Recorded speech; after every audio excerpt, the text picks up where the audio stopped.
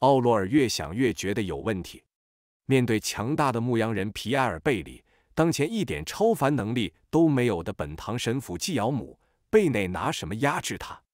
如果说本堂神父是更得到那位隐秘存在宠爱的人，以至于整个小团体都视他为首领，那他应该早就接受恩赐，不再是普通人。而如果他迟迟不接受恩赐，那必然是会被排挤的。这种情况下，原本地位、权势、手腕和心机谋略都比不过自身的力量以及与神灵的距离。因为没有多余的时间思考，奥洛尔只能想到两种解释：一是那个小团体内，基尧姆贝内并非真正的首领，他更多只是利用身份的特殊，提供密谋的场合。对达列日地区的永恒烈阳教会隐瞒异常，真正的首领另有其人。二是基尧姆贝内不是不接受恩赐，而是在等待一个机会，让他能直接获取到更强大力量的机会。而无论哪种解释，似乎都不是什么好事。奥罗尔望着那三只绵羊，进一步问道：“和皮埃尔贝里一起对你们动手的那个人是谁？”三只羊各自写起自己的答案。尼奥尔·贝斯特，一个叫尼奥尔的牧羊人，他被称为尼奥尔。尼奥尔·贝斯特，他也获得了强大的力量。奥罗尔认识这个人，他同样是科尔杜村一名牧羊人，经常和皮亚尔·贝里一起转场放牧，但这次似乎没有提前回来。尼奥尔呢？我在村里没见到他。奥罗尔询问道：“那三只羊走了几步，离开已满是单词的地方，找新的空白泥土做起书写。他死了，被我杀死了。我们干掉了他，但还是被抓住了，死于反击。”奥罗尔若有所思地点了点头：“你们都是非凡者。”那三只羊没继续用蹄子写高原语，以点头这个动作给予了肯定的答复。奥罗尔嗯了一声，心里念头急转：皮尔贝里和尼奥尔贝斯特的狩猎目标竟然都是非凡者，这是想做什么？而且还死了一个。要么尼奥尔的实力远不如皮埃尔，要么他们是通过恩赐获得的力量，且掌握的还不是那么熟练，在超凡战斗中不可避免的出现了点问题。奥罗尔再次看着那三只羊道。你们知不知道皮埃尔抓你们是为了什么？那三只羊又各自做起书写。我听他提到过神和奉献，可能是用于血祭。我怀疑他想把我们献祭给邪神。果然，非凡者灵性极高，又身怀特性，是比普通人强很多倍的祭品，更能取悦邪神。皮埃尔贝里和尼奥尔贝斯特以转场牧羊为掩盖，去其他国家抓非凡者来献祭。这样确实不太容易引起本地官方的注意。奥罗尔微不可见的点了下头，他郑重问道：“皮埃尔提到过那个神的尊名吗？或者说，把你们变成羊的那个仪式是向谁祈求？”那三只羊同时一愣，仿佛陷入了回忆。紧接着，他们齐齐低下脑袋，向面前的泥土伸出了蹄子。不知为什么。奥罗尔突然感觉周围阴冷暗淡了许多，就像高空的太阳正好被乌云遮住，又恰巧有山间凉风吹过。那三只羊开始了书写。奥罗尔灵性直觉有了强烈的预警，当即喊道：“等一下！”那三只羊唰的抬头望向了他，他们的眼角不知什么时候已流下血色的泪水，脸庞的皮毛污迹斑斑，甚是吓人。下一秒，那三只羊继续做起书写。奥罗尔连忙转身，急速奔向栅栏边缘。等他脱离羊圈，回头望去时，那三只羊正沐浴在高空洒落的阳光里。要不是他们脸上还残留着血色痕迹，一切毫无异常。扑通扑通，奥罗尔的心脏还在狂跳。他一边喘气，一边庆幸。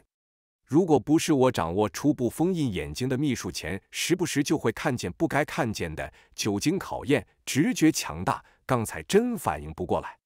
他随即掏出铁黑色的粉末，将它们抛向了羊圈。泥土地上那些单词顿时被无形的手抹掉了。至于羊脸的污渍，奥罗尔难以用法术清理，也不敢靠拢过去，直接用水来擦洗。他担心那三只羊已经和刚才不同，有潜藏的危险性。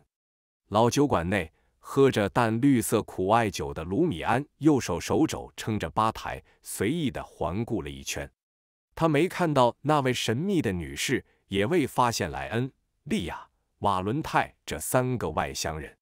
前者，他不知道对方什么时候会出现，只能碰运气。后面三位。他认为他们应该正在村里漫步，找人闲聊。其实我是有机会结婚的。已喝完一杯苦艾酒的皮埃尔·贝里端起新的淡绿色液体，絮絮叨叨道：“是吗？”卢米安嘲笑道：“有谁能看上一个牧羊人？”皮埃尔叹了口气道：“我们转场去的平原草场，大部分都有主人，不是哪位庄园主的，就是附近村子的。”要想放牧，要么交牧场税，要么娶一个村里的姑娘定居在那里，这可是好事啊！对牧羊人来说，卢米安笑道。皮埃尔抿了口苦艾酒，侧头看了他一眼。得那个姑娘能看上你，而且不能要嫁妆。那次正好有个姑娘觉得我不错，不嫌弃我是个穷光蛋，牧羊人愿意和我结婚，他是不是很傻？是的。卢米安诚实点头。皮埃尔端着淡绿色的苦艾酒，沉默了好一会儿，才道：“后来他死了。他在城郊工厂工作，太累了，生了场病。我跑了好几个教堂，找神父给他祈祷，找医生给他治病，但都没有用。那天之后，我明白了一个道理。什么道理？”卢米安抿了口苦艾酒。皮埃尔脸上闪过了愤恨的情绪。那些身上长肉、下面拉屎的人根本拯救不了我们。身体长得不是肉，下面不用拉屎的可以吗？卢米安反问。皮埃尔低笑了两声：“那是圣人和天使，可他们会看向我们吗？”卢米安啧了一声：“那你为什么还去教堂找本堂神父祷告？”他不仅身上长的是肉，下面拉的是屎，而且还喜欢睡女人。皮埃尔再次侧头扫了卢米安一眼：“你不懂，他有某种知性，能拯救我们的灵魂。”知性？卢米安对这个词不太理解。皮埃尔又喝了口淡绿色的苦艾酒，似乎没听到这个问题。卢米安也不敢深入打听，转而聊道：“我听人说。”你一两点就去过教堂了，为什么三四点还要去？皮埃尔温和笑道：“下午可以和有同样知性的人聊天。”他没否认午后去过教堂。卢米安顿时松了口气，至少目前看来，还没有别的人能保留记忆，干涉历史的进程。他怀疑皮埃尔贝里午后去教堂是和本堂神父提前做一下沟通，下午三四点才是小团体的交流。喝过酒，见晚餐时间已到，卢米安和皮埃尔贝里分别往自家返回。走至一条僻静小道时，本堂神父的弟弟彭斯贝内领着几个打手突然从岔路进来，将他堵住。身材健硕、黑发蓝眼的彭斯贝内望着卢米安，狰狞笑道：“你下午很会恶作剧吗？一定要在教堂耽搁我们的时间？要不是本堂神父在那里。”我当时就揍你了，混蛋小子！来吃你爸爸彭斯的某某。卢米安先是为这家伙的愚蠢愣了一秒，继而一阵狂喜。他和奥罗尔的判断没有错。上上次循环里，那罗卡葬礼前，彭斯贝内应该还没有获得超凡力量，能闻到危险的气息。他现在竟然敢来赌一个非凡者！卢米安毫不犹豫，转过身体，狂奔了起来。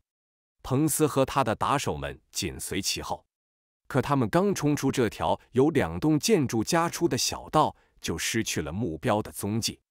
彭斯贝内左右看了一眼，吩咐起手下到处找找。他觉得卢米安没可能跑那么快，应该就躲在附近。那几个打手立刻四散开来，搜寻附近隐蔽处，只剩下彭斯贝内一个人站在小路入口。爬到旁边房屋二楼的卢米安见状，嘿了一声，直接跳向彭斯。砰！彭斯被巨大的力量撞翻在地，气血翻滚，眼前发黑，短暂失去了战斗能力。要不是卢米安有所收敛，没直接砸他身上，他可能还得断几根骨头。卢米安顺势站起，弯腰抓住彭斯的左右小臂，对他笑道：“来，咱们亲近亲近。”抢在彭斯反抗前，他将对方拉向自己怀里，膝盖顶了过去。噗的一声，彭斯的眼珠都快要瞪了出来，脸上写满了极度的痛苦。扑通！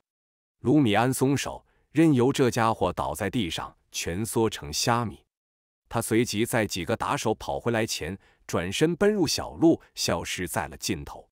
兼职客厅、餐厅的厨房内，卢米安将自己这边的情况通报给了姐姐皮埃尔·贝里。下午又去了教堂，可以确认彭斯贝内现在还没有超凡能力。奥罗尔轻轻颔首，说起自己的遭遇，尤其最后那未知的、莫名的危险。卢米安思索了一阵，道。那位神秘的女士说过，某些存在仅仅只是知道它的存在，就可能导致你受到污染。